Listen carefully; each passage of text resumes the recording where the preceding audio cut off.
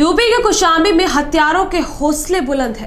ताज़ा मामला कुशाम्बी के सैनी इलाके का है, जहाँ एक विवाहिता घर से अचानक लापता हो गई।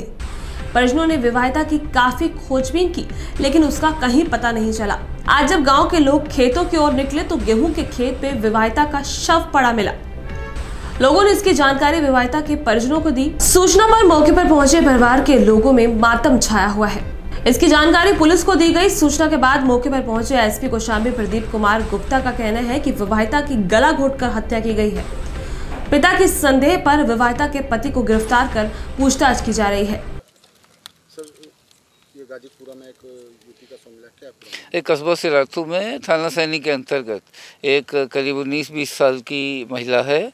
उसका हत्या की गई है।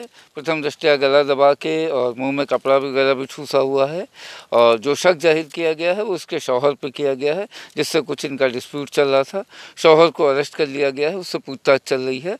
बाकी कार्रवाई फ़ील्ड यूनिट पोस्टमार्टम की हम लोग कर रहे हैं।